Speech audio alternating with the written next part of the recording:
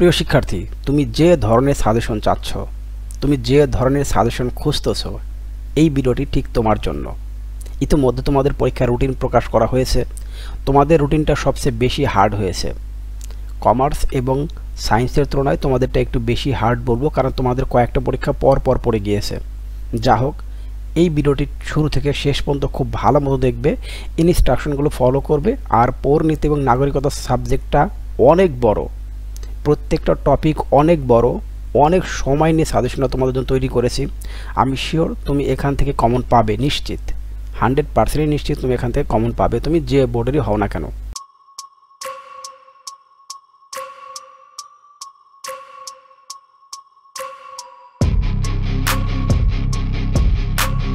আর হ্যাঁ তুমি যদি গণিত হান্ড্রেড এই তেরোটি ক্লাসে জয়েন করে এখন পর্যন্ত না থাকো, তাহলে অবশ্যই জয়েন করে ফেলো।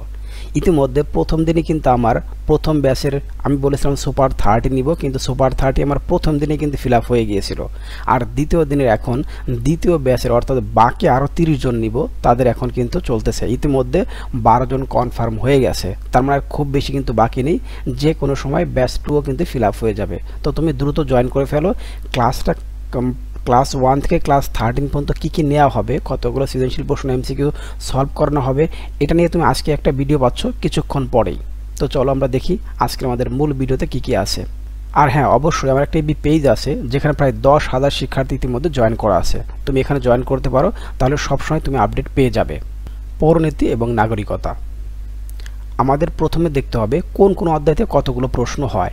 তাহলে তুমি দেখতে পাচ্ছ, প্রথম অধ্যায় থেকে প্রথম অধ্যায় থেকে দুটি প্রশ্ন হবে, দ্বিতীয় অধ্যায় থেকে দুটি প্রশ্ন হবে, চার নম্বর অধ্যায় থেকে প্রশ্ন তিনটিও আসতে পারে, কিছু বোর্ডে, রাজশাহী বোর্ডে মেবি চারটা প্রশ্ন চলে আসছিল গত বছর।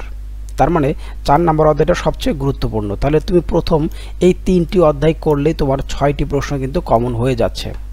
এরপর তুমি সবচেয়ে বেশি গুরুত্ব দেবে ষষ্ঠ অধ্যায়। তাহলে কিন্তু এই চারটা অধ্যায় করলেই কিন্তু হবে। বাকি অধ্যায়গুলো না পড়লেও কিন্তু তুমি ইজিলি সাতটা প্রশ্ন কমন পাবে। কোন অধ্যায় প্রথম, দ্বিতীয়, চতুর্থ এবং হচ্ছে ষষ্ঠ। এখান থেকে তুমি সাতটা প্রশ্ন পেয়ে যাবে। তারপরও যার কাছে যে অধ্যায়টা ভালো লাগে স্পেশালি দশ এবং হচ্ছে এগারো, এখান থেকে একটি তো আসবেই দুটি কিন্তু আসতে পারে। তাহলে এই ছিল আমাদের অধ্যায়ভিত্তিক কোন অধ্যায়দের গুরুত্ব তুমি বেশি দিবে, এটা নিয়ে কিন্তু। তাহলে ভিডিওটি আশা করি তোমার জন্য ভালো লাগবে। তাহলে কোন অধ্যায় তোমার জন্য বেশি গুরুত্বপূর্ণ তুমি কিন্তু এখন বুঝে গেলে। আমরা দেখব এবার অধ্যায়ভিত্তিক সাজেশন যেটা আছে, প্রথম অধ্যায়, পৌরনীতি এবং নাগরিকতা। সৃজনশীলের জন্য আমি প্রশ্ন শিখব ক নাম্বারের জন্য, অর্থাৎ জ্ঞানমূলকের জন্য কোশ্চেন শিখব আমি মাত্র হচ্ছে নয়টি। মাতৃতান্ত্রিক পরিবার কি? এখান থেকে শুরু করে একবারে সমাজ কাকে বলে? এই পর্যন্ত, এক থেকে নয় পর্যন্ত এই কোশ্চেনগুলো তোমরা অবশ্যই পড়বে। তাহলে এক থেকে নয় পর্যন্ত পড়ে বাসায় তুমি খাতায় অবশ্যই একটা নোট করে ফেলবে। একটা আলাদা খাতা বানাবে, যেহেতু তোমার পরীক্ষার আগে কিন্তু খুব একটা বন্ধ নেই। তোমাদের পরীক্ষার জন্য মানে আর্টস গ্রুপের শিক্ষার্থীদের জন্য কোনো বন্ধ নেই বললেই চলে। পরপর অনেকগুলো পরীক্ষা পড়বে। তুমি যদি এগুলো নোট করে রাখতে পারো এখন থেকে, তাহলে খুবই ভালো হয়। তখন পরীক্ষার আগে বন্ধ না থাকলে তুমি নোট আছে বারবার রিভিশন দিতে পারবে। তখন শুধু এমসিকিউ গুরুত্ব দিলেই কিন্তু হবে। আর হ্যাঁ এমসিকিউ তোমরা কিন্তু খুব দ্রুত পেয়ে যাবে। এরপর আমরা দেখব হচ্ছে, এখন দেখো, এটা হচ্ছে আমাদের অনুধাবন প্রশ্ন, খ অর্থাৎ দুই মার্কের জন্য। এখানে কোশ্চেন রেখেছে তেরোটি। তেরোটি দেখে অনেক অবাক হতে পারো। অবাক হওয়ার কিছু নেই, কারণ এখানে এত কোশ্চেন আছে। মানে কোনটা রেখে কোনটা দিব? টেস্ট পেপার বিশ্লেষণ করা, বিগত বছরের বোর্ড কোশ্চেন বিশ্লেষণ করা, এবং হচ্ছে, এবং নামি দামি কিছু স্কুলের কোশ্চেন বিশ্লেষণ করে তোমাকে এই তেরোটি কোশ্চেন দেওয়া হয়েছে। অবশ্যই এই তেরোটি কোশ্চেন তোমাকে শিখতে হবে। তুমি যারা পরে এই মানে এই সাবজেক্টটা তারা অবশ্যই জানো বলে এই অধ্যায়টা কত বড় এবং কত টপিক আছে এই অধ্যায়টার মধ্যে। তাহলে তেরোটি কোশ্চেন তোমরা অবশ্যই প্র্যাকটিস করবে। হয়ে গেল তেরোটি কোশ্চেন এরপর আমরা দেখব সৃজনশীল অংশে। সৃজনশীলের গ প্লাস ঘয়ের জন্য সকল বোর্ড দু হাজার সতেরো এবং আঠারোতে দুটি প্রশ্ন তোমরা পড়বে এবং ঢাকা বোর্ড চট্টগ্রাম বোর্ড এবং রাজশাহী বোর্ড দু হাজার বিশ, একুশ এবং বাইশের কোশ্চেন স্পেশালি একুশ আর বাইশের কোশ্চেন তোমরা গুরুত্বটা বেশি দিবে। তাহলে এটা হয়ে গেল আমাদের প্রথম অধ্যায়। দুটি কোশ্চেন তোমার জন্য কনফার্ম এর বাইরে আর কোনো কিছু পড়ার প্রয়োজন নেই। এর বাইরে আমরা কী পড়ব? শুধু এমসিকিউ পড়ব, যেটা কয়েকদিন পরে তুমি পেয়ে যাবে। এরপর আমরা দেখব হচ্ছে দ্বিতীয় অধ্যায়, নাগরিক এবং হচ্ছে নাগরিকতা। এখানে ছোট কোশ্চেন শিখব, আমরা মোট কত? নয়টি। দেখো, মোট নয়টি ছোট কোশ্চেন আছে। প্রথমে নাগরিক কাকে বলে? এরপর শুরু করে লাস্ট পর্যন্ত অধিকার বলতে কি বোঝো? এই নয়টি কোশ্চেন ছোট কোশ্চেনগুলো নোট করে রাখলে খুবই ভালো হয়, পরে আর খোঁজাখুঁজি করতে হবে না। তোমাকে কোথায় আছে এটা বের করতে হবে না, তুমি অটোমেটিক তোমার খাতার মধ্যে সবগুলো আছে, এটা তুমি দেখতে পাচ্ছ। শুরুতে কিছু সময় লাগবে। এরপর ক্ষয়ের জন্য কোশ্চেন শিখব, আমরা হচ্ছে এখানে মোট এগারোটি। দেখতে পাচ্ছ?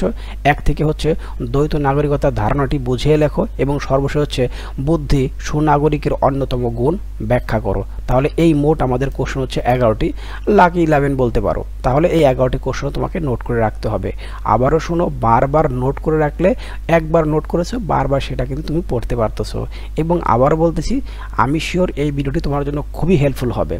এরপর আমরা দেখব হচ্ছে সৃজনশীল অংশে কী কী লাগবে।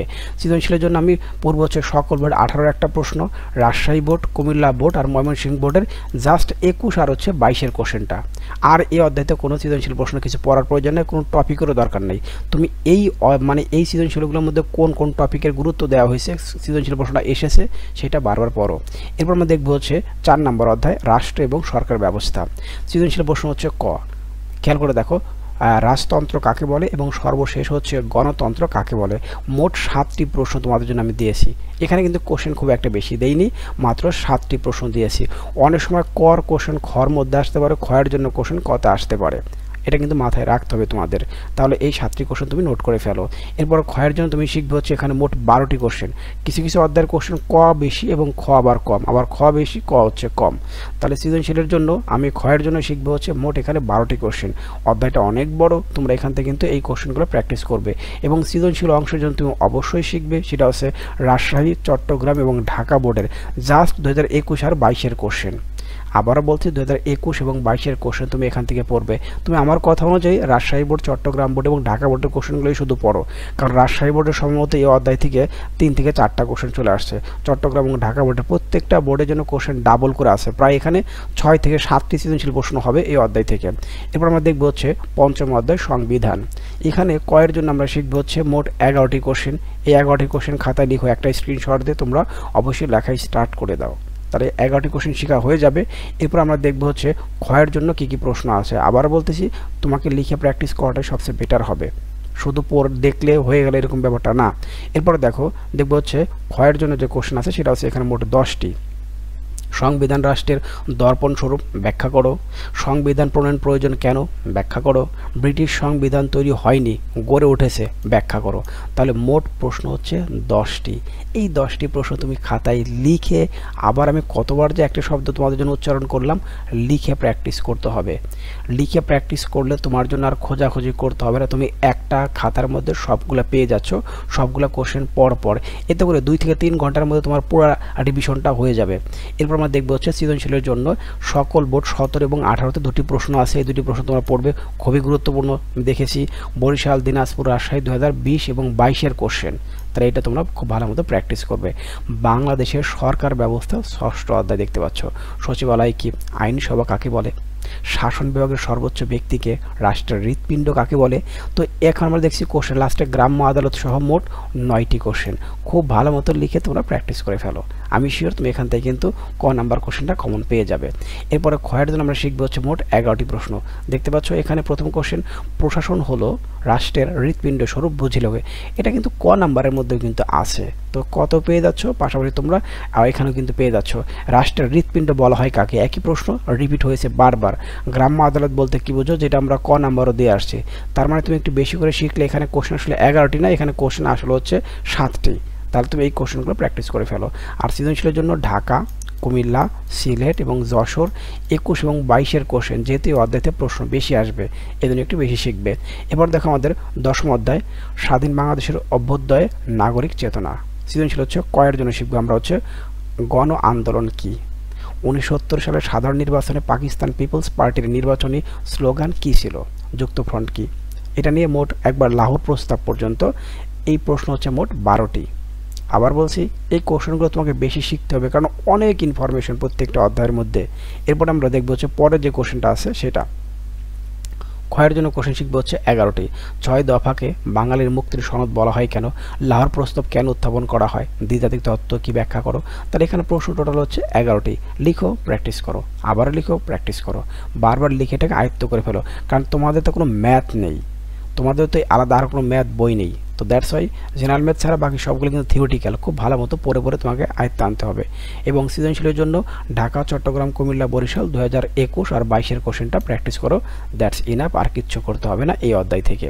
এরপরে সর্বশেষ যে অধ্যায়টা আছে, বাংলাদেশ ও আন্তর্জাতিক সংগঠন। সৃজনশীল করার জন্য ওআইসি এর পুনরূপ কি জাতিপুঞ্জ কি, জাতিসংঘের প্রশাসনিক বিভাগ কোনটি? যা হোক, এই টোটাল কোশ্চেন হচ্ছে মোট সাতটি। এই সাতটা কোশ্চেন প্র্যাকটিস করে ফেলো, খাতায় নোট করে ফেলো। এরপর আমরা দেখব হচ্ছে খ নাম্বারের জন্য যে কোশ্চেন আছে, একটু বেশি আছে, তেরোটি। এই তেরোটি কোশ্চেন তুমি প্র্যাকটিস করো। বারবার প্র্যাকটিস করো কমনওয়েলথের উদ্দেশ্য ব্যাখ্যা করো। জাতিসংঘের সবচেয়ে গুরুত্বপূর্ণ এবং শক্তিশালী শাখা কোনটি ব্যাখ্যা করো? তাহলে এই নিয়ে আমাদের কোশ্চেন টোটাল হচ্ছে তেরোটি। এটা প্র্যাকটিস করার কোনো বিকল্প নাই। প্র্যাকটিস করে তোমাকে আয়ত্তে রাখতে হবে।